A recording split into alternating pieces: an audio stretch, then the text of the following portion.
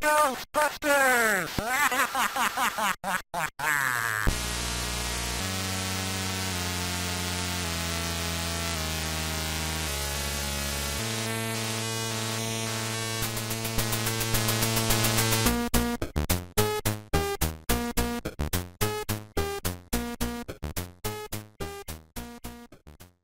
Ghostbusters, Providence, Rhode Island, Monday, March 3rd, 2014.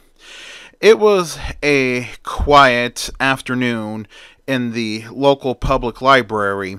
There was a good share of people in there reading and studying, and in that library worked a woman named Allison. She was pushing her cart full of books, putting everything back in place. Later, she goes down to the basement. The basement was kind of quiet and kind of eerie. As she was putting away books, she had felt something, something unusual. Unknown to her, behind her, the books began floating off the shelf and rearranging themselves. She turned to look, but there was nothing going on. Allison knew about the history of the library, the history of a local librarian by the name of Eleanor Twitty. She was a librarian there from the late 19th century to the earliest 20th century, and there are many stories of people witnessing her ghost in the basement. But Allison was the kind of woman who didn't believe in such a thing. And as Allison was walking by the old drawers of cards from the long since disused card catalog system, Unbeknownst to her, behind her, the drawers began opening themselves and the cards began flying out. Allison, hearing the sound of the cards flapping, turns around and sees that all the drawers were opening and all the cards were flying out. Allison got scared and began running. As she rounded the corner, suddenly she was confronted by a monstrous entity that was screaming at her. Later that afternoon at the University of Rhode Island at the psychology building, there was a office marked paranormal psychology research and it had three names on the door dr peter venkman dr raymond stantz and dr egon spengler. And on the glass of the door was written burn in hell venkman someone was obviously angry at peter venkman. Inside the office it looked more like a giant storage closet. You have shelves full of bizarre gadgets, and just laying around were other giant pieces of machinery whose purpose was unknown. And there you saw three desks, and in front was uh, another table, and there in that table were sitting two students, and behind the table was Peter Venkman. A tall, thin, lanky man of 35 with straight brown hair and blue eyes. And he was sitting there holding up Zener cards. Cards that had symbols of a square, star, and wavy lines. He was holding up the backside and seeing if the two test subjects could guess with accuracy what card he was holding up. It was a test on ESP ability, but his test was a little different. He was doing a test called negative reinforcement on ESP ability. Basically, the two test subjects, a young man and a young woman, were tied to a machine that was going to give them electric shocks, mild ones, of course, if they got the wrong answer. And of course, Peter Venkman, being a ladies' man, was sparing the attractive young woman the shocks and shocking the heck out of the, the poor young male student. The poor young male student finally had enough and rips off the electrodes and told Dr. Venkman he'd keep the five bucks. He was gonna pay them for the participation in the experiments, a measly five dollars. Then Venkman looks at the young female student and he says to her, Well, you're going to have to get used to that kind of resentment. That's the kind of resentment your gift is going to bring to you when people find out about your abilities. Of course, Dr. Venkman was lying and he says to her, Well, I have an idea. Let's explore this further. And then he was about to say something when suddenly Dr. Raymond Stantz storms into their office. Dr. Raymond Stantz was a man of 33, tall, freckles, blue eyes, and red hair. He heads over to the shelf and looks into one of the makeshift drawers and he asks Pete aloud, Hey Pete, where's the memory card for the camera, the one we erased yesterday? And then Peter gets up from his chair and walks over to Ray and slaps Ray in the head, saying, I'm in the middle of something, Ray. And then Ray says to Peter, Listen to me, Peter today at 1:40 p.m. at the Providence Public Library main branch, several people saw a free-floating torso apparition. It blew books off of shelves and it scared the socks off one old librarian. And then Peter says, "Well, that's great. You and Egon look into it." And Ray says, "No, Peter, you're coming with us on this one. You have to." And then Peter says, I'm here with a test subject. Of course, Ray looks at the test subject and he says, Sure, test subject. And then he says to Peter, Come on, Peter, grab the camera with the infrared lenses. Afterward, Peter walks over to the young woman and he says, Well, you can come back tonight and we could explore this further. And then he was going to say, then she interrupts him around eight. And then Peter's like, my God, I was just going to say that. You are a legit phenomenon. She lets out a giggle. Later, Peter and Ray were walking up the steps of the public library, and Peter says to Ray, You know, Ray, you have been interviewing every nut job and schizo in this state. And then Ray says, Listen, I have a feeling that this may be a legitimate ghost, he says to Peter. Well, as they were in the library, Peter sees Egon with a stethoscope, and the stethoscope was pressed against a table. And Peter decided to have a little fun with Egon by slamming the book on the table near the stethoscope, and Egon quickly jumps up and yanks off the stethoscope. He turns to see who did that, and it was Peter, and says, Oh, it's you, Peter. Egon was a man of 32 tall, slightly chubby, with thinning brown hair. And Peter asks Egon if he heard anything, and Egon says no. The manager of the library walks up to the three men and he says, I take it you men are from the university. And Peter says, Yes, we are. And the manager asks him if they were going to be able to solve this.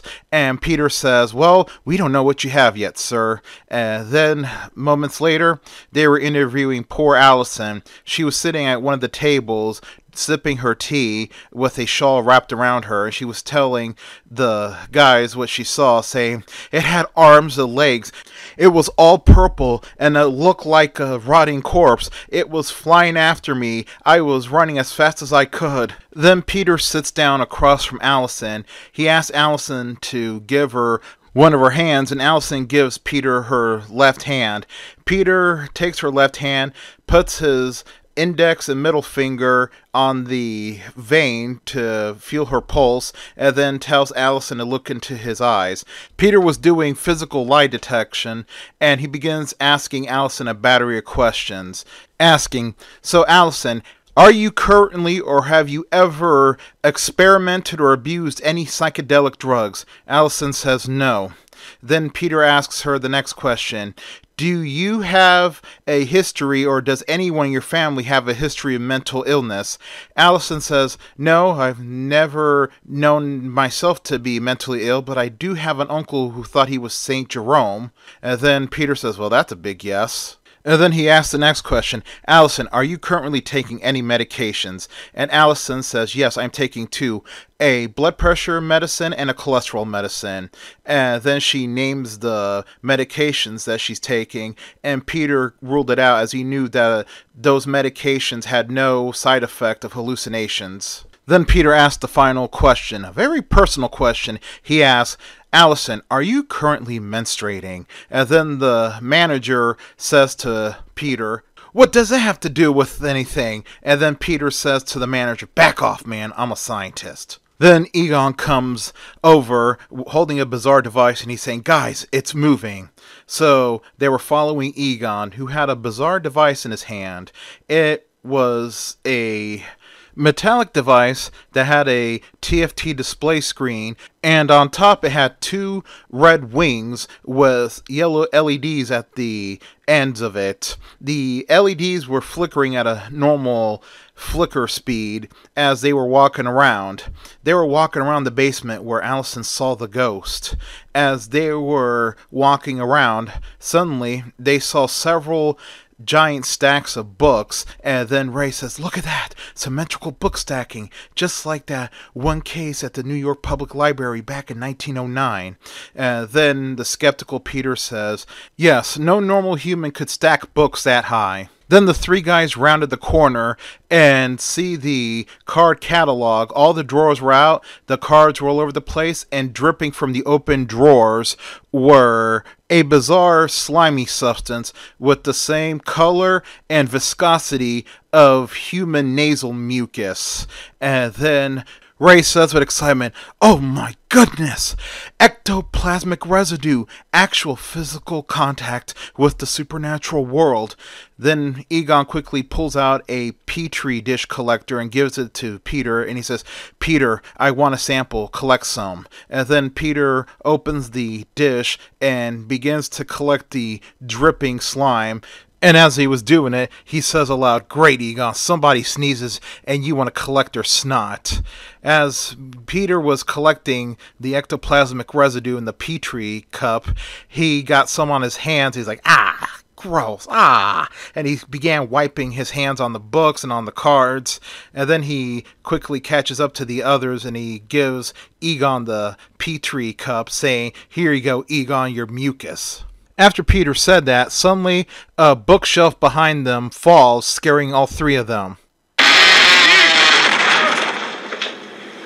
Peter turns to look at Ray and he asks Ray, Happened to you before? And Ray nodded his head no. The three men continued on walking, and the device that Egon had, the wings, began to raise up, and the LED lights began to flicker faster, and it was making a noise.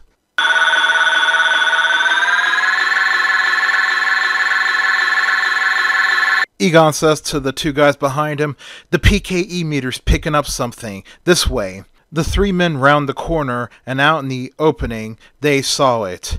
A ghostly apparition that had a purple glow to her. She looked like she was an elderly woman, and she was wearing turn of the century clothing from over a hundred years ago. The three men were in shock and awe, and Ray quickly grabs the camera hanging around his neck and begins snapping photos. Then Peter asked both of the guys, Is this the first time that any of you have seen this? And Ray says, Yes. And Egon says, Yes, definitely. Then Peter asked both of them, What are we going to do? And both men stood silent, looking at each other. Then Peter grabs both of the guys by the ears and drags them back around the corner, saying, Come here, Francine. And then we could hear clearly from behind the bookshelf Ray saying, Okay, I think one of us should try to make contact with it. Peter, you do it. Peter was not pleased that he was tasked, so Peter comes back around from the bookshelf and he asks the ghost librarian, So, is that something interesting you're reading? And the ghost librarian says, Shh. And then Peter asks the librarian, So, where were you from originally? And she says, Shh. Then Peter goes back around the corner and he says to both of the guys, All right, fellas, this is not working. And then we could hear Ray's voice behind the corner saying, Okay, I got an idea. And a count of three, let's grab her. And then the three men come around the corner again, walking quietly, ready to ambush the ghost. And then Ray counts down one, two, three and then the three men run after the ghost. Suddenly, the ghost turns into a scary looking spectral monster and lets out a loud demonic scream. The three men quickly run back the opposite direction, running as fast as their legs could carry them. They go flying out of the library, running at high speed, with the manager right behind them asking, Hey, what's going on? Did you see it? How did it look like?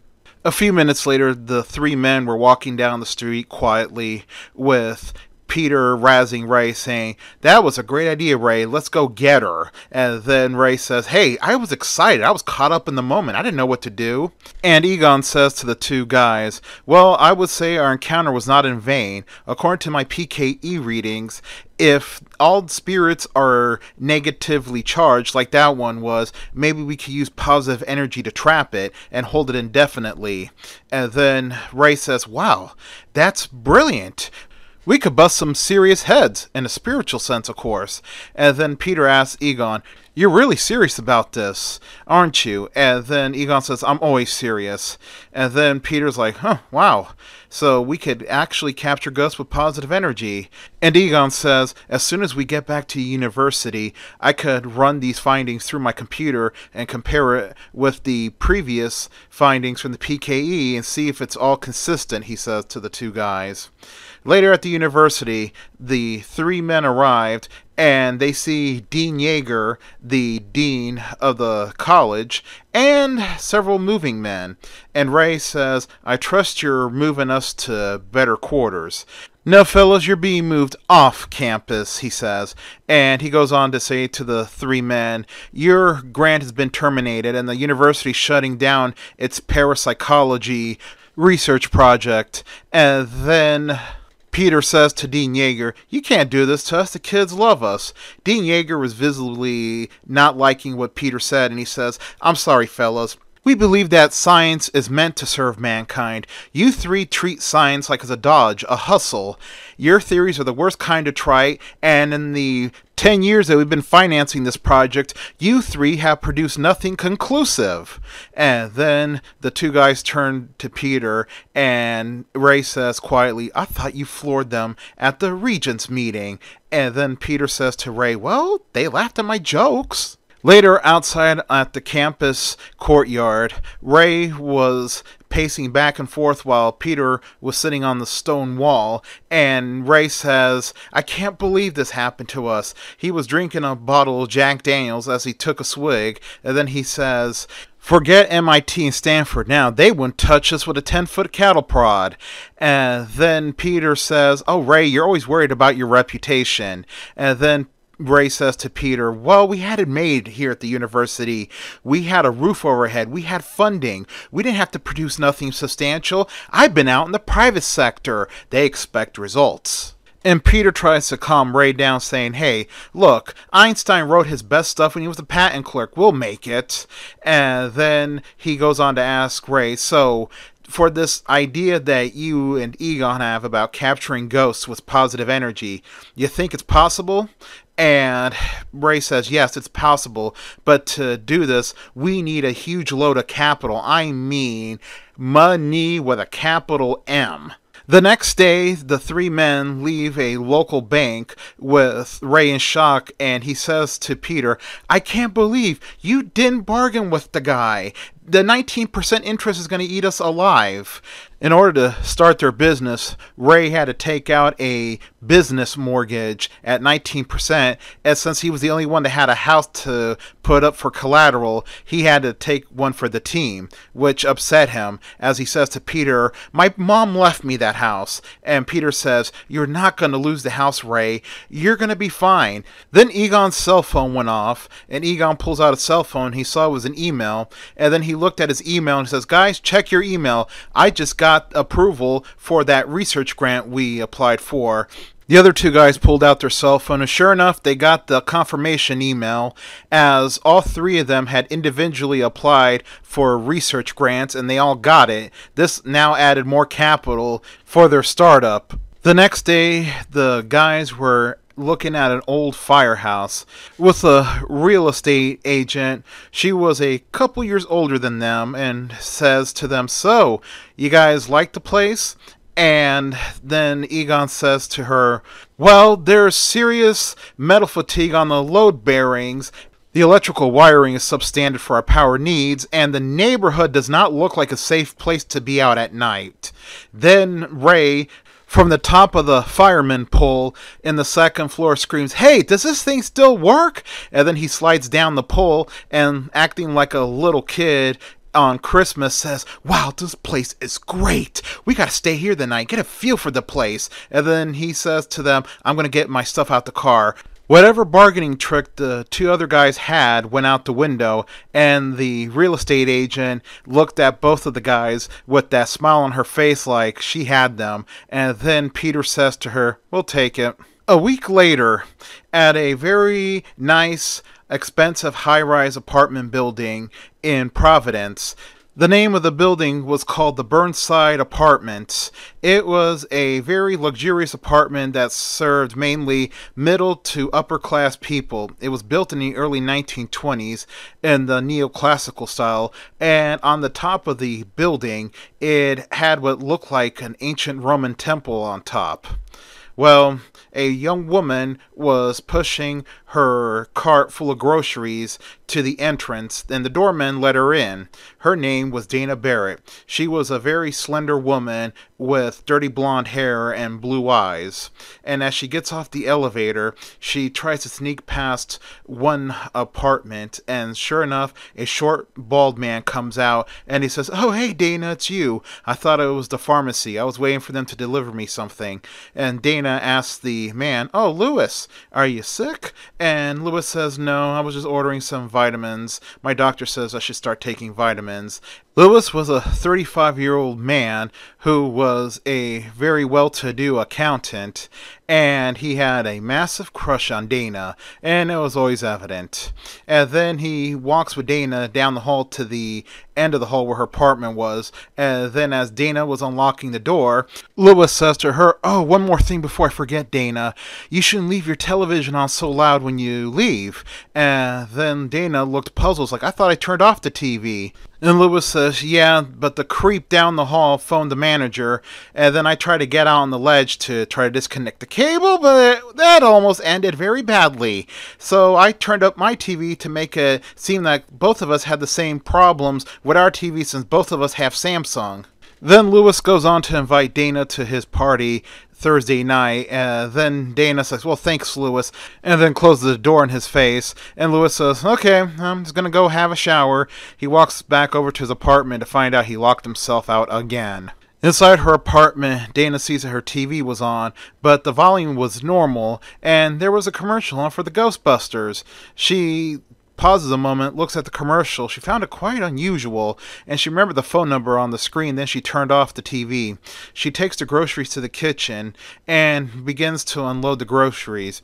She puts her carton of eggs on the counter right next to a bag of Stay Puft marshmallows. As she was putting away everything, suddenly we see that the carton of eggs opens by themselves, and the eggs inside start jiggling. Then one egg bursts and the yolk gets on the countertop, followed by another egg and another. And as the egg yolks were on the countertop, suddenly they began frying on the countertop. Dana, who was busy putting away everything, heard the sizzling and smelled the smell of frying eggs. She turns to look at the direction where the sound was coming from, and she saw the eggs were frying on the countertop. She was frightened by what she saw. Then she heard a bizarre growling coming from the refrigerator. She cautiously walks to the refrigerator and opens the refrigerator, and instead of seeing the normal inside of a refrigerator, she saw a giant void, a dimension of some sort, and there at that center of that dimensional void, she saw what looked like a temple like structure, and there there was some demonic looking dog that screamed the word Zuul to her. Dana slams the refrigerator door shut and runs out. A few days later, in front of the old firehouse, the Ghostbusters had managed to clean up the old firehouse. A bunch of men were putting up a very plain looking sign that said Ghostbusters. It's all they could do on their limited budget.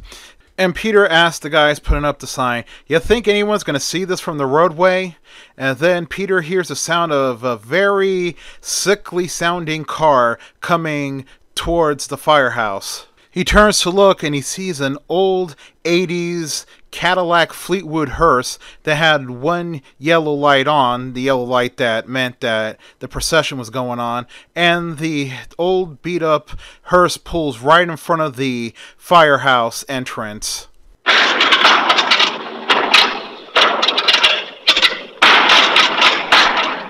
Peter screams at the driver of the car, Hey, you can't park that here! And then the door opens, and Ray steps out and says, Okay, everyone, we can breathe. I found a car. And then Peter looks at the beat up hearse. It was a black 1984 Cadillac Fleetwood hearse with a red roof, and the paint job was really in bad shape as there were a lot of big patches of gray. And then Ray goes on to say, Well, she needs some work. I mean, she needs well, as you could hear, the engine needs fixing, new rings, new pistons, brakes, shocks, suspension, exhaust. And then Peter asks Ray, How much did you pay for this? And Ray says, 10 grand. And Peter rolled his eyes back. The next day at the firehouse, Peter was coming in and he was asking their new secretary, Janine, a plain young woman about their age, wearing thick glasses and black hair tied back in a tight bun. And Peter asks her, Any messages, Janine? And she says, No, Dr. Venkman. And then he asks Janine, Any calls? And she says, No, Dr. Venkman. And he says to her, Fun job, isn't it?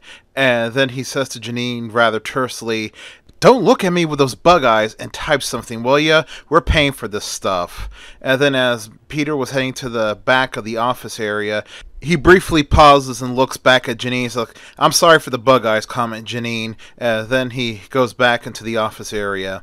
After he goes back into the office area, Janine pushes her chair back, and from underneath the desk emerges Egon. And Egon says to Janine, Well, the printer's dead. Thank goodness this thing's still under warranty, he says to her. And Janice says to Egon, You're pretty handy with electronics. Do you have any hobbies? My hobbies are racquetball and reading books. And then Egon says, my hobbies are usually collecting things. Right now, I'm currently collecting spores, molds, and funguses. Egon's answer was kind of off putting to the flirtatious Janine. Moments later, Dana, wearing a heavy overcoat, comes through the front door of the Ghostbusters business as she was walking by the completely dismantled Cadillac Fleetwood hearse. It was completely in pieces. The engine was outside, stripped down to its block, and Ray was working underneath the hood. Ray lifts his head out of the hood of the car as Dana was walking by calling out for anyone in the firehouse. Hello, is there anyone home? Hello? Then she walks up to Janine's desk and introduces herself saying, Hello, I'm looking for a Ghostbusters. I don't have an appointment. Of course, Peter in the back office area, just hearing a woman's voice, quickly gets up, sees her, and runs up to Janine's desk and introduces himself, saying, Hi, I'm Dr. Peter Venkman. I'm a Ghostbuster. Later, upstairs in the firehouse, we see a computer monitor with an image of Dana talking it looked like she was in thermal vision on the monitor. There was a specialized camera pointing at her, and she was connected to a lie detector machine. And Peter asks Egon, So, is she telling the truth? And Egon turns off the machine and disconnects Dana Frame. He says to Peter, Yeah, she's telling the truth, all right. And Peter says to Dana, That's pretty weird. You usually don't see that kind of a behavior in any normal household appliance. And Egon explains his theory, saying, well, it could be race memory stored in the collective subconscious. And Ray says, well, it could be past lives intruding on the present. And then Dana says to the two of them, I'm sorry, Phyllis, I don't believe in none of that stuff. And Peter says to her, well, I don't believe in none of that either. Ray says, Well, I'll go down to public records and see about that building. Maybe the building has a history of psychic turbulence. And Egon says, I'll look up the name Zuul in our usual literature. Ray says Egon, Tobin Spirit Guide? And Egon says, Also check out Spate's catalog.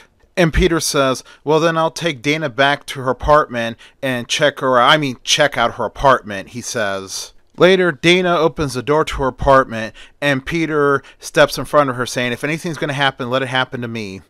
He goes into the apartment. He had a bizarre device that collects air samples. He was pumping the bulb, sucking in air. He was checking out every nook and cranny of the apartment and he heads towards Dana's bedroom. And Dana says, That's the bedroom. Nothing ever happens in there. And then Peter says to her, What a crime. And then, visibly irritated, Dana says, Dr. Venkman, you've come all this way. Would you please check out the kitchen?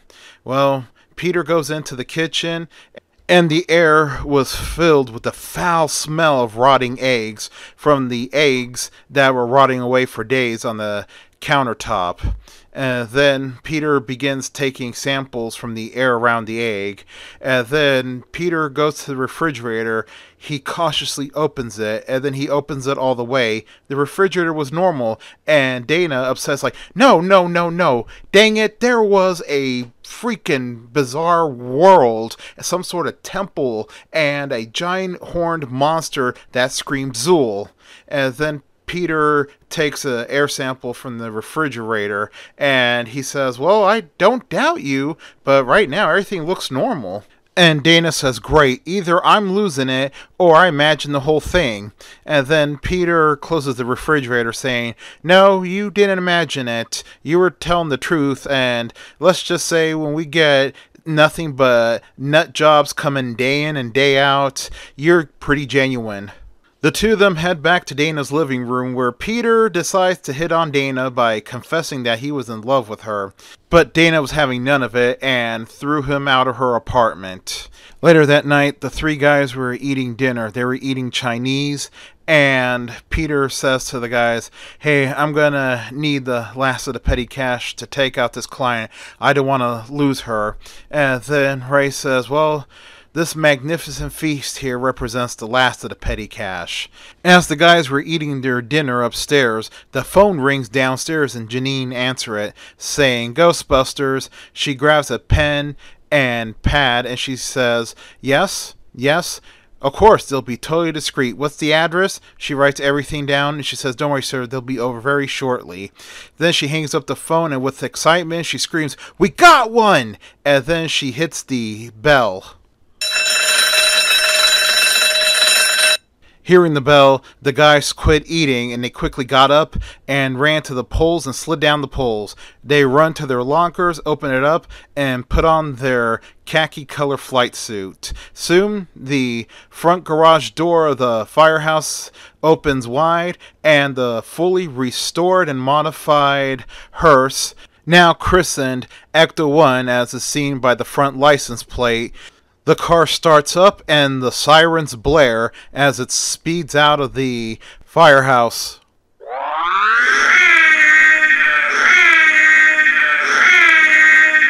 Ecto 1 pulls up in the old Biltmore Hotel, one of the oldest hotels in Providence, Rhode Island. Well, as the Ghostbusters come in fully decked in their flight suit, proton packs, and Ray has a bizarre goggle on his head, Peter shouts, Ghostbusters, has anyone seen a ghost here? Then the hotel manager comes from behind the Ghostbusters, frightening them, and he says to them, Gentlemen, I hope you can handle this quietly. And then Ray says, Oh, we handle everything quietly. And then Peter asks, So what's going on? And then the hotel manager says, Well, there's a disturbance going on on the 12th floor. I mean, this hotel has always had these disturbances for decades, but they always have been minor, maybe one or two people scared. But tonight, this is pretty bad. Whatever it is, frightened a lot of people out of their rooms. The Ghostbusters reassured the manager that they were going to handle this. They go towards the elevator where there was a man waiting for the elevator. He asked him, You fellas some kind of cosmonaut? And then Peter says to the man, No, we're exterminators. Somebody saw a roach up in 12. And then the man says to Peter, That must be some kind of roach. And Peter says, Bite your head off, man. Then the elevator opens. The Ghostbusters go inside, and Ray asks the man if he was coming aboard. And the man says to them, Nah, I'll take the next one, fellas. Thanks. Then inside the elevator, Ray says to the rest of the guys, You know, it just occurred to me, fellas, that we haven't had a really successful test with this equipment. And then Peter says, Well, we're going to find out if it works tonight or not. And then Ray says to Egon, Egon, switch me on. And then Egon, who was behind the other two guys in the elevator, presses the red LED start button on top of Ray's proton pack. The elevator opens on the 12th floor, and the three guys step out the elevator. Egon pulls out the particle throw and starts the proton pack from the particle thrower. As the three guys were walking cautiously down the hall, Peter, of course, didn't have his proton pack on or his particle thrower out. As the guys rounded a corner, they hear a squeaking wheel from a cleaning cart. Thinking it was the ghost they were looking for, Ray and Egon quickly turn around and fire blasts from their particle throwers. The stream of protons hit the cleaning cart, destroying a lot of the contents and causing a small explosion. The cleaning lady had quickly ducked behind the cart for cover, and Peter has stopped Ray and Egon from blasting any further. And the cleaning lady screamed at them, What the heck are you guys doing? Ray says, We're sorry, ma'am. We thought you were somebody we were looking for. And then Peter says, Successful test, guys. And then Ray says, I have an idea. Let's split up. And Peter says, That's a good idea. We could do more damage that way. And the guys split into different directions. Peter went one direction, Ray went the other direction, and Egon went another direction armed with his PKE meter. Egon was scouring the halls with his PKE meter, and he was picking up traces of where the ghostly specter had been, while Ray had found the ghostly specter, a giant green globly ghost that was eating food like there was no tomorrow from a food tray in the hallway.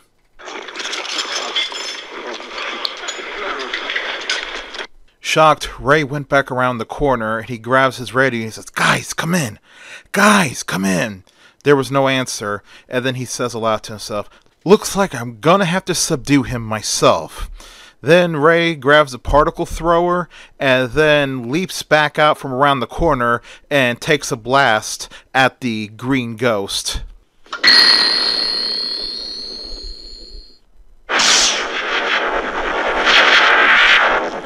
Of course, Ray misses the ghost and leaves a very bad, streaking burn mark across the wall where the proton stream hit. The green ghost begins flying, and the food cart follows right behind him. The green ghost goes through the wall, but the food cart was not spectral, so it crashed into the wall with a mighty sound. Meanwhile, in the other end of the 12th floor, Peter was walking around and he saw the green ghost come right in front of him. He grabs his ray and he says, Come in, Ray. Come in, Ray. And Ray says, Yeah, Peter, I read you loud and clear. And Peter says on the radio, Ray, I found our ghost. And Ray says, Excellent.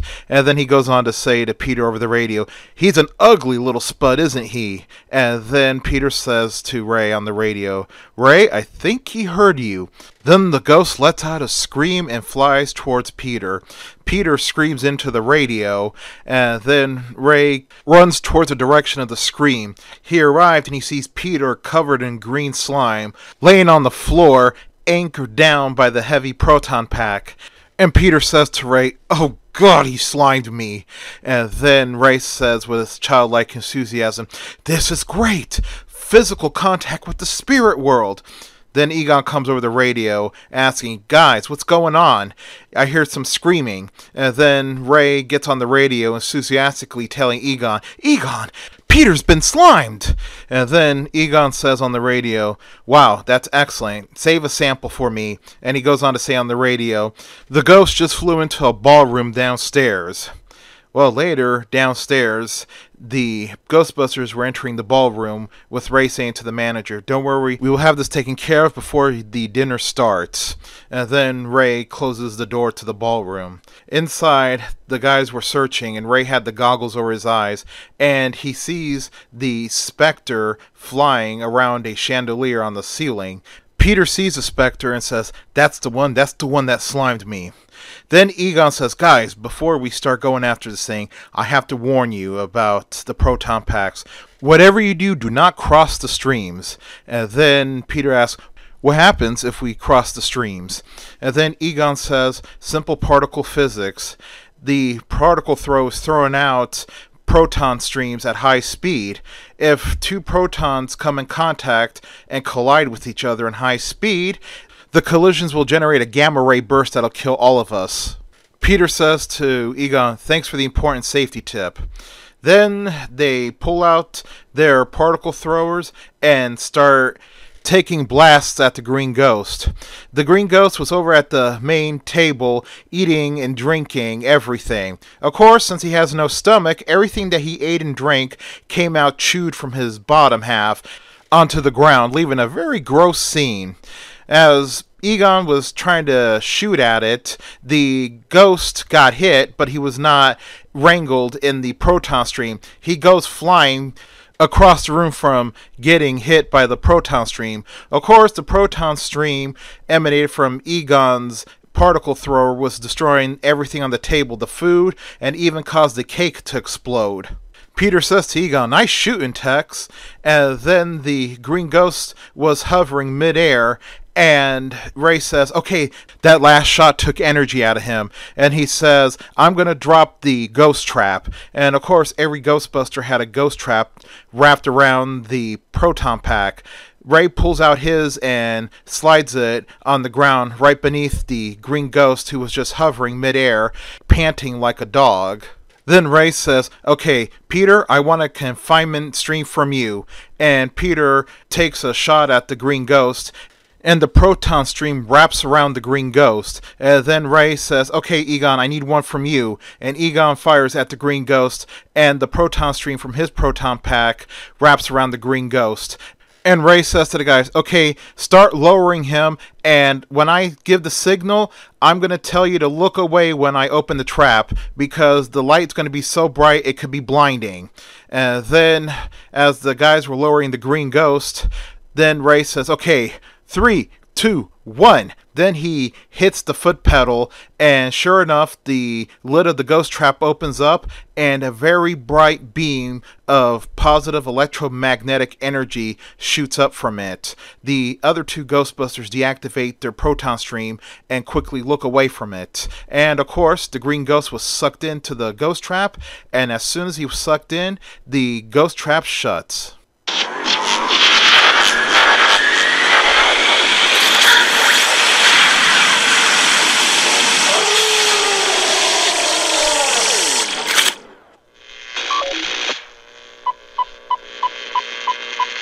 The three guys looked at the ghost trap. The ghost trap's LED lights were blinking, indicating that they captured the spirit. Uh, then the Ghostbusters emerged from the ballroom. Ray was holding the smoking trap like it was a dead rodent of some sort. And then the manager asked, So did he get it? How many of them were there? And Ray says, Well, sir, what you had in there was a class 5 free floating vapor or a real slimer, as I like to call it. And then Peter comes up with a pad that had the bill on it and a pen. And he says to the manager, All right, now time to talk business. Now, for the entrapment of the creature, that's going to be $500. We also going to charge 500 for equipment maintenance and $100 for our salaries and another $100 for the general bills. And then the manager's like, What? $1,200? If I knew it was going to be this expensive, I would not call you guys. I'm not going to pay it. Then Peter says, Okay, then we can let the ghost we just captured back into your ballroom. And then he turns to Ray. He's like, "Can we, Ray?" And then Ray says, "Sure, Peter, we can." And then the manager's like, "Okay, okay, I'll pay the bill." Then Peter pulls the bill from the pad and gives it to the manager, and he says, Thank you for calling Ghostbusters. Then the guys leave the hotel with Ray screaming, Look out, coming through with a Class 5. Soon the Ghostbusters business was taking off, as now they were getting calls constantly, day and night. It seemed that everybody and their mom was seeing ghosts in the tri state area. It had gotten so busy that they needed to hire a fourth member. Plus, they were starting to make a lot of money now, so they could afford to hire a fourth member. Enter Winston Zeddemore, a 34 year old black man who had just moved to Providence, Rhode Island to be closer to his family. He was standing in front of the Ghostbusters HQ holding up a printout of the ad he saw on the internet, which said, looking for strong able-bodied individual for the job of being a Ghostbuster, must be able to carry 25 pounds on your back, and must be able to drive and have a safe driving record. If interested, come to this address. Well, moments later, Winston was being interviewed by Janine and she was asking him a battery of questions. And then he says to her, Well, if there's a steady paycheck in it, I'll believe in anything you want. And then Janine says, Okay. And then the Ecto 1 pulls up and Peter and Ray come out. Both of them look like they've seen better days as they were very tired. With Peter saying to Ray, You know, Ray, you don't look fully dead. You look half dead. And then Ray says, Thank you, Peter. The bags under your eyes today are not as bad as you were yesterday. And Peter says, Thank you, Ray. And then Ray was holding two steaming ghost traps. And then Winston gets up and Janine gets up. And Janine says, Dr. Venkman, Dr. Stantz, this is Mr. Winston Zeddemore. He's here for the job. And then Ray looks at Winston. He says, Beautiful, you're hired. Welcome aboard. And then he gives the happy but yet surprised Winston the steaming ghost traps. Later that day, Dana was coming out of the Performance Arts Center with the rest of the orchestra, saying to her male violinist friend, I don't know where they get these guest conductors from. It does them no good to scream at us in German. And then her male violinist friend says, One day I would like to have a German composer who doesn't go off the edge if you play one minor sour note during a Beethoven piece. As Dana was talking to her friend, she sees Peter, who was right in the distance by the water fountain, goofing around. She tells her friend, Excuse me, and then she comes over to Peter and she says, My Dr. Venkman, I thought you guys had forgotten about me since you guys had gotten so famous. And then Peter's like, Oh no, we haven't forgotten about you. It's, that's just it. We've gotten so busy.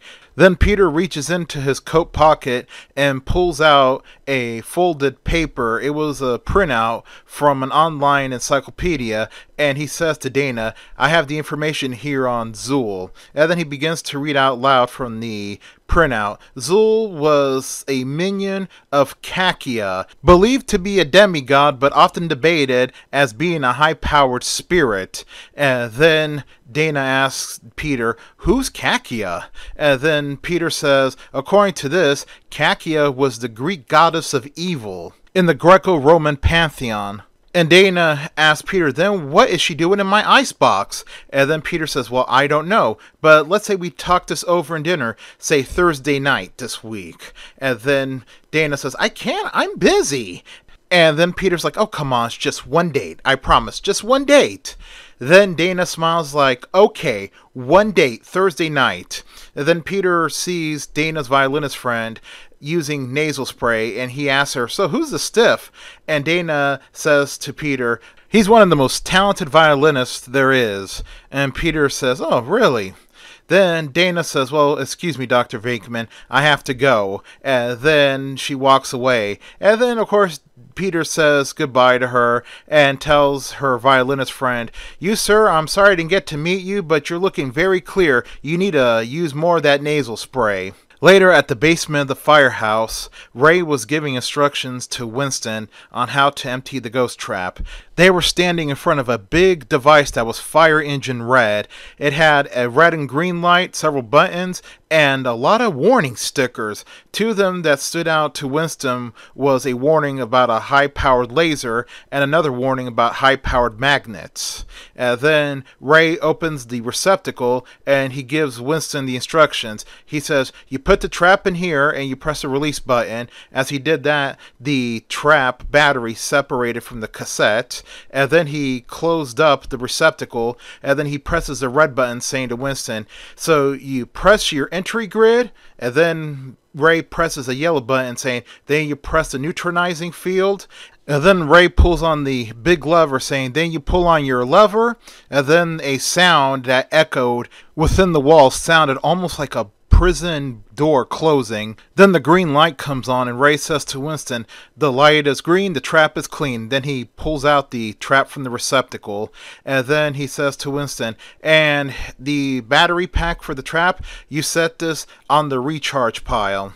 And then Winston grabs the second ghost trap that had to be empty, and he asks Ray, Can I try it?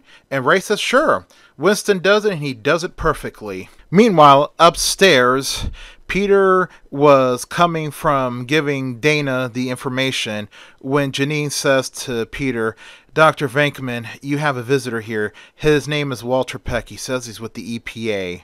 And then Peter's like, okay. And then Peter quickly asked Janine before he went to meet the EPA man, so any luck on finding a secretary for the night shift? And Janine says, no. We have a lot of promising people, but you know, people are kind of scared to work here, you know, with the reputation of you guys busting ghosts. And then Peter says to Jeannie, it's understandable.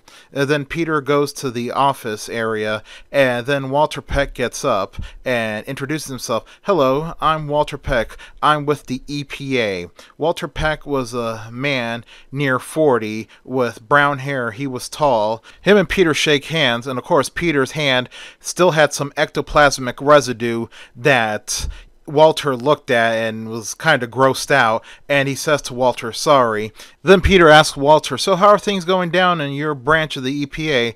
And Walter says, fine, it's going very fine. Uh, then Peter asks Walter, so what brings you over here? And then Walter Peck says, well, I came here to investigate your day to day activities, he says to Peter. And then he asks Peter, So, Dr. Venkman, what are you exactly a doctor of? And Peter says, Well, I have doctorates in both psychology and parapsychology. And then Walter says to Peter, And now you bust ghosts. And Peter says, Yes. And then Walter asks Peter, Where do you keep these captured spirits. And then Peter says, We keep him in our state of the art magnetic containment system. And then Walter asks Peter, Do you keep your containment unit on these premises? And Peter says, Yes. And then Walter asks, May I see this containment system? And Peter says to Walter, You didn't say the magic word. And then Walter let out a slight smile, like, May I please see the containment system? And Peter says, No. And then Walter gets a little angry and he says, Dr. Venkman, I have to see that unit.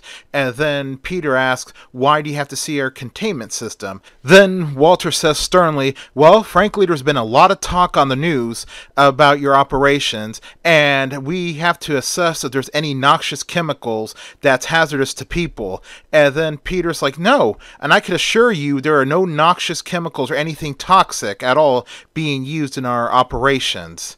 And then Walter says to Peter, Okay, fine, have it your way, Dr. Venkman. I'm going to come back with a court order. And Peter says to Walter, Fine, you do that, and I will sue your behind for wrongful prosecution. Meanwhile, back downstairs in the basement where the containment unit was at, Ray and Winston were connecting the recharged batteries to the emptied out Ghost Trap cassettes while Egon was looking at his laptop with worry in his face. And then Ray asks, Hey, Egon, what's going on? You look like you're worried. And then Egon says to Ray and Winston, Well, it's just this morning's report on the state of the containment unit. And Egon goes on to explain to the guys the containment unit is starting to get very crowded in there. It's about to exceed its capacity of what it could hold. And Ray asks Egon, How bad is it? And then Egon grabs a Twinkie from the table and says to the guys, Imagine that this Twinkie represents the normal amount of psychokinetic energy in the city of Providence. According to today's reading, this Twinkie would be 35 foot long and 600 pounds. And Ray says, Holy crap! And Winston says, Wow, that's one big Twinkie. And Ray says, My goodness, we could have a PKE surge of dangerous proportions. And Egon says to Ray, You're right, we have to find a way to either expand the capacity of the containment unit or find a place to build a bigger one.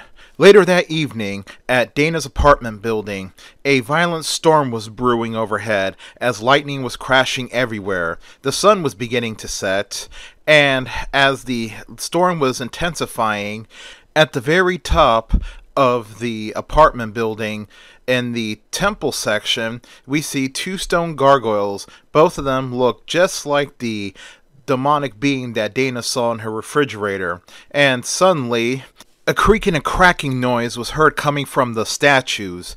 Soon at the foot of the statues, the foot of the statue burst and a pair of monstrous paws emerge, and the eye area of the statue begins to crumble, revealing a red glow coming from there. Something was coming to life, something evil. Dana was getting off the elevator as she could hear the loud music from Lewis's party. She tried to sneak by, and of course, Lewis came out. He tried to convince her to come, but she told him that she had a date tonight. He was upset, but then Lewis swallowed his pride and told Dana that she could come and bring her date anyways. Dana smiled and she says, Okay, Lewis, we'll try to stop by after the date. And then, of course, Lewis locked himself out. Dana, tired from a busy day, goes into her apartment. She sits down, pulls out her smartphone, and begins to do some texting. Then she heard a bizarre growl coming from the kitchen area. She looks at the closed door of the kitchen and sees a pink light emanating from the edges of the closed door, and she saw some sort of monstrous figure whose shape was moving on the door as if the door was made of cloth.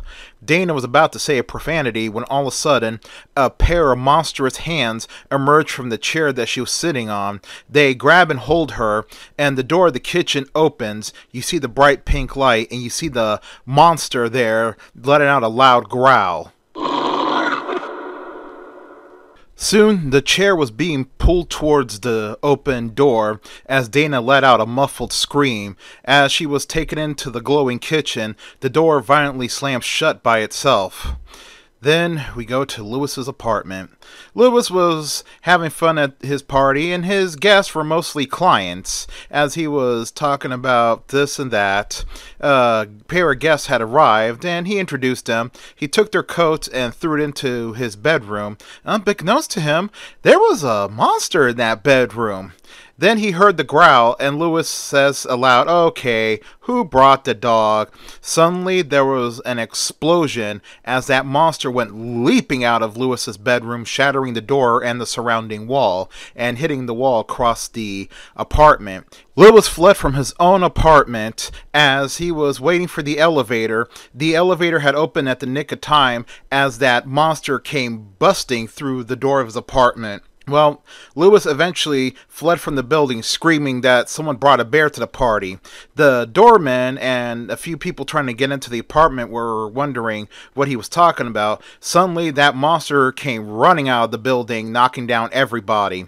As Lewis ran as fast as his legs could carry him, he found a restaurant. He goes up to the window and pounds, screaming for help, but everyone just ignored him. And then Lewis turns around and sees that monster. He tried to be nice to the monster, offering it a milk bone since it resembles some giant demonic dog. Well, the monster let out a growl and it got Lewis. Later, Peter arrives to the front entrance of the high rise and he sees the police everywhere. He asks the doorman what happened, and the doorman said, Some bozo brought a cougar to the party and it went crazy. And Peter's like, Huh, that's something you don't see every day. And then he goes into the high rise, takes the elevator, and he walks by the destroyed front entrance to Lewis's apartment. The party guests were still there giving their statements to the police. And then Peter knocks on the door of Dana's apartment, and suddenly Dana opens the door. But Peter noticed something was different about her. She was wearing a kind of dress that was very unusual for her to wear. Her makeup was heavy, and she spoke with a sensual voice, saying to him, Are you the keymaster? Peter, thinking it was some sort of kinky game, said no, and then she slams the door in his face.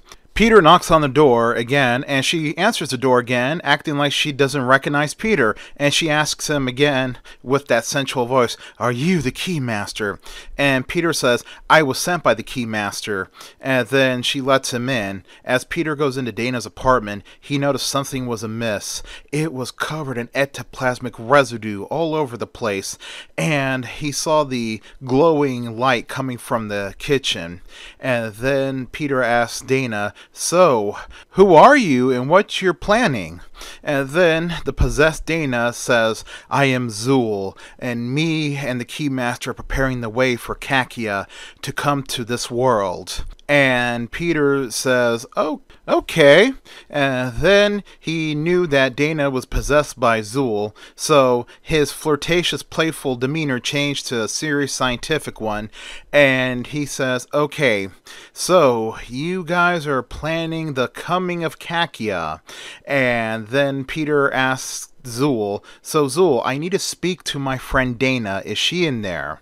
And then Zuul says, No, she is not then Peter was able to convince Zuul to lay down on the couch. And then Peter, trying to use a little psychology, says, Okay, in the count of three, I want to talk to Dana. And then a monstrous voice emerged from Dana saying that there was no Dana, only Zuul. Peter was unfazed and he said, That's a lovely singing voice. Then he said to Zuul, all right, Zuul, in the count of three, I want to speak to Dana. He does the countdown, and the possessed Dana begins to react violently and begins to levitate. Then Peter asked her if they were still going to go out, and she just let out a growl and tried to scratch him. Later at Ghostbusters HQ, a police van pulls up and a police officer steps out of the van. He knocks on the door and Janine answers the door and she asks the policeman, picking up or dropping off? The policeman says, dropping off. And she says, give me a moment. She shuts the door and moments later, Egon comes out and he asks the policeman, yes, can I help you with something, officer? And then the police officer says, well, we found this guy wandering around causing trouble and well, I'm kind of scared to take him to the mental hospital, and I really don't want to take him to county. And I know you guys are uh, into this kind of stuff, so we wonder if you want him. So the policeman opens the back of the police van, and sure enough, there was a handcuffed, possessed Lewis, and Egon pulls out his PKE meter, and the PKE meter starts reacting to Lewis.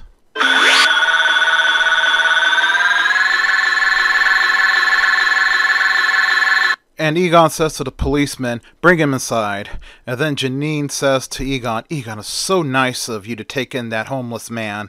And then Egon says to Janine, Janine, I don't think he's human. Moments later, at the firehouse lab, Lewis was hooked up to a lot of machinery, and Egon was asking him, So you're saying your name is Vinz Clortho? And the possessed Lewis answers, Yes, I am Vinz Clortho, Keymaster to Kakia, and she will come to this world in a pre-chosen form.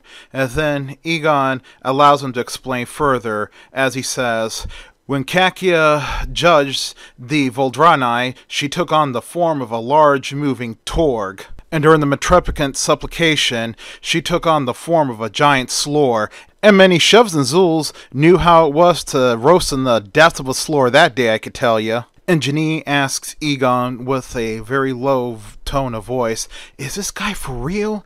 And Egon, responding back with a low tone of voice, says to her, Yes, I'm afraid he is very real, and this is what frightens me. Soon, the upstairs telephone rings, frightening both of them, and Egon picks it up, and it was Peter. And Peter explains to Egon his dilemma, saying that he had to give over 3,000 cc's of Thorazine to the possessed Dana. And then Egon says to Peter, Well, I have the keymaster here, and Peter says over the phone, Oh, that's great. Now we can get them together. And Egon says to Peter, Peter, that'd be an extraordinarily bad idea.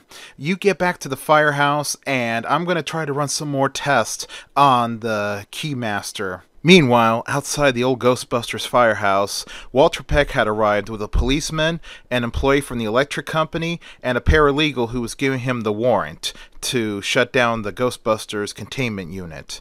Well, he enters the firehouse with the electric company employee and the policeman, and Janine tried to stop him and said to him that he needed a warrant, and he showed Janine the warrant. Then he made his way down to the basement where Egon was trying to run some more tests on the Keymaster, and Janine said to Egon that she tried to stop him. Egon confronts Peck, and Peck just warned Egon that he had a warrant, and Egon warned him if he shut down the containment unit, it'll be like dropping an atom bomb on the city.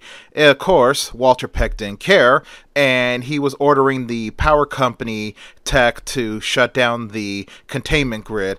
At that moment, Peter had come down to the basement, and Walter Peck had reminded Peter that he had his opportunity to play nice, but he thought it funny to insult him and belittle him. Well, the power company tech was a little nervous and unsure about the setup down the basement, saying to Peck, I've never seen any of this before. And Peck said to the young man, I don't care what you think, shut it all down. Though the young power company tech went to the first switch he saw and pulled the switch. Soon, the basement went dark, the red light began to flicker, and a loud alarm sounded.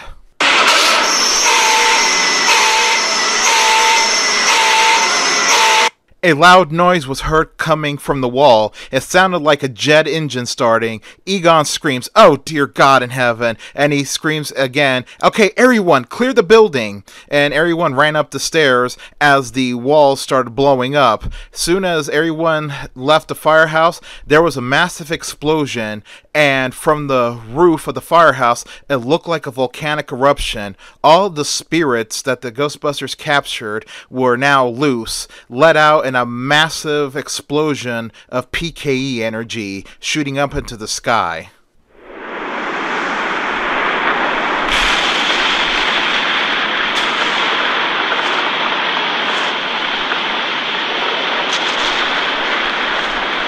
While everyone was outside, the keymaster screams, This is it! This is a sign! Janine saying aloud too, Yeah, this is a sign, alright? The sign we're going out of business. Soon Ecto 1 pulls up and Ray and Winston come out running, and Ray asking the guys, What happened?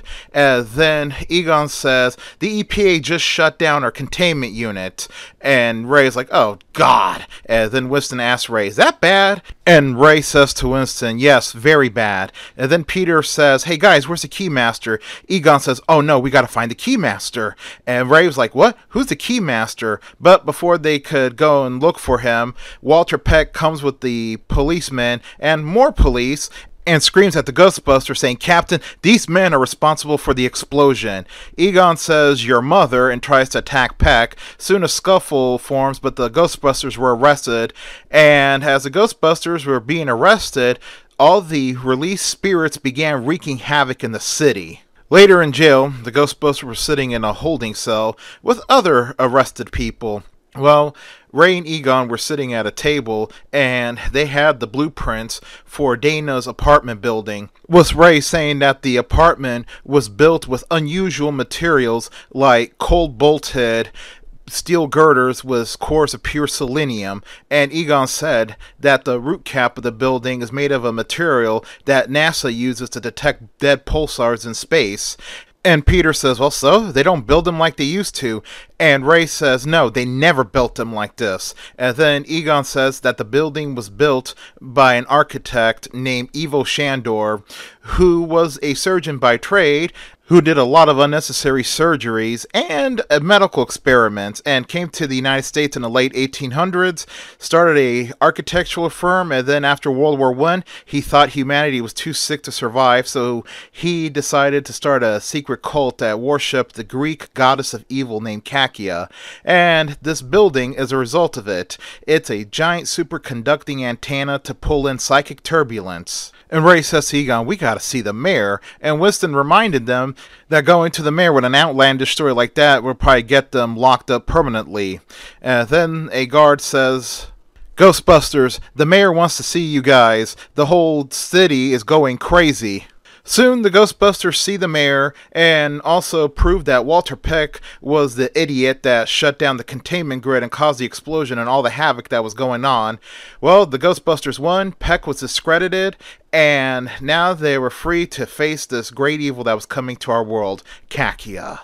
While the Ghostbusters were in jail, then trying to convince the mayor about what was going on, the Keymaster made his way back to the apartment building and finds Dana, the gatekeeper. The two of them kiss passionately and head up a secret stair case that was in Dana's kitchen that was hidden now revealed by the destruction of her apartment from the spirits who were freed from the containment unit who all flew to the apartment building being drawn to it. Later, the Ecto 1 pulls up to the front of the building as the Ghostbusters get out and grab their proton packs, strap it on, and head in. As they were heading in, they had noticed ominous storm clouds covering the city. Something evil was coming, and the Ghostbusters really had to stop it. Well, since the power was out in the building, the Ghostbusters were forced to take the stairs all the way to the 22nd floor. By the time they got up there, they were tired and they're ready to pass out. They made it to the end of the hall to Dana's ruined apartment. They looked around and they saw the stairwell. Well, as the Ghostbusters went up the stairwell, they ended up at the top of the apartment building where the giant temple like monolith was. And there they saw Lewis and Dana, who were now in the process of using their power to open the great golden door that would act as the doorway into the spirit world to let Kakia in.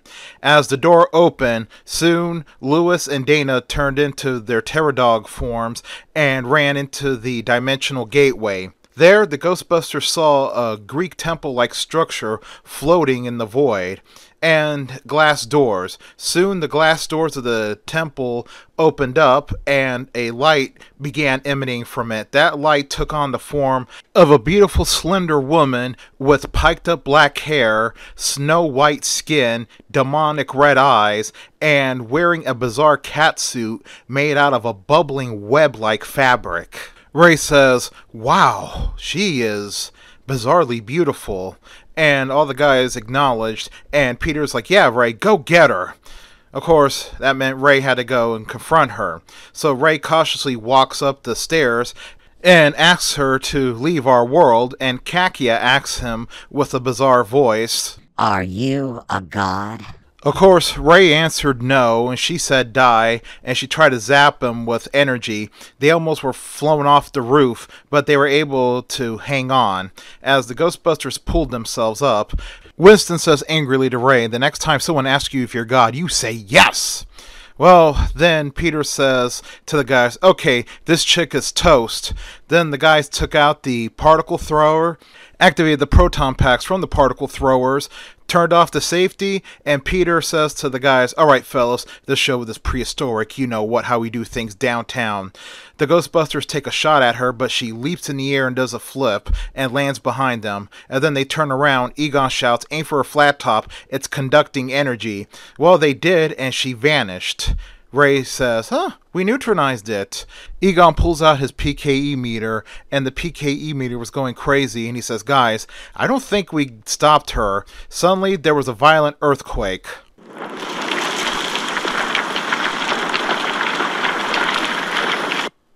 As quick as it started, the earthquake had stopped, and the Ghostbusters heard a thunderous voice coming from the stormy skies. It was the voice of Kakia saying to them, Foul creatures, Kakia, the Destroyer, Volgathrohadar the Traveler, has come. Choose a form and perish. Of course, the Ghostbusters were puzzled on what she said, and then Peter quickly figured out if they think of J. Edgar Hoover, J. Edgar Hoover will come down and kill them.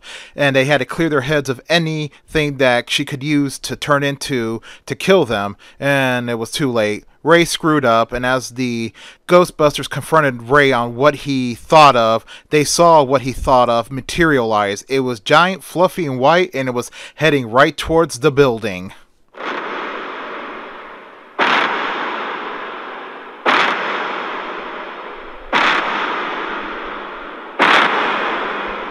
Thanks to Ray, Kakia had taken on the form of the Stay Puft Marshmallow Man, and she was heading right towards the building.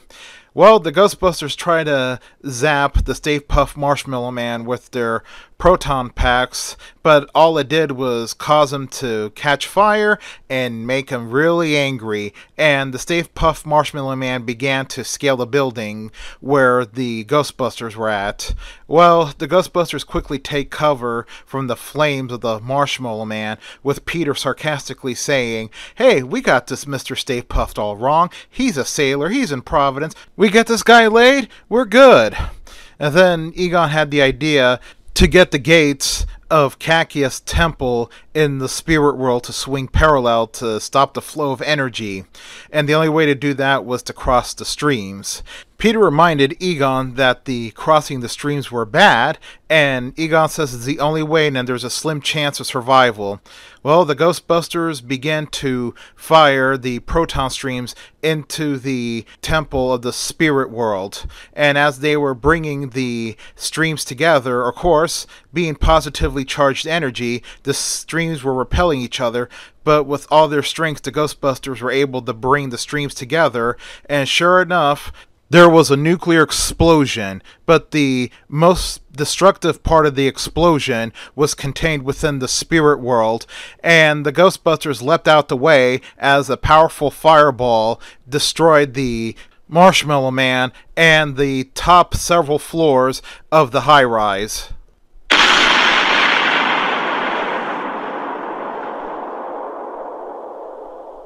Molten marshmallow rained on everybody below that had gathered to watch the Ghostbusters do battle, and the Ghostbusters emerged victorious, covered in molten marshmallow. Dana and Lewis were back to normal, and the dark skies had cleared, revealing that it was morning and the sun was rising. It was going to be a beautiful day after all, said Winston. And then the Ghostbusters made their way down with Dana and Lewis, and when they emerged from the front of the apartment building, a crowd cheered them. The Ghostbusters were now heroes. They had saved the world from a great evil that was going to destroy it, and it was going to be the start of a long and fruitful career, or was it? Like and subscribe, the end.